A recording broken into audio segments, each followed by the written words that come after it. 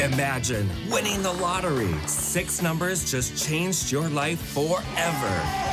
With a huge check bringing newfound wealth, your dream home just became a reality. Sounds fantastic, right? Anybody can win. You ever held 180 million?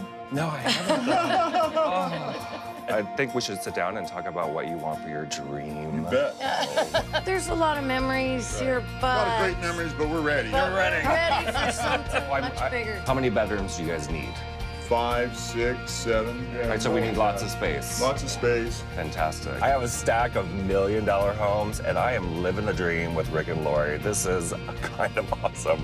Love it. Just need some mirrors up here, right? I like your style. Well, you know, let's go look at some more Yeah. houses. Oh, wow. Oh wow, this Very is nice. Isn't it great? fabulous. We're rich, we're Yeah. rich. Never in a million years Yeah. would we even look at this. Welcome to Eagle Crest.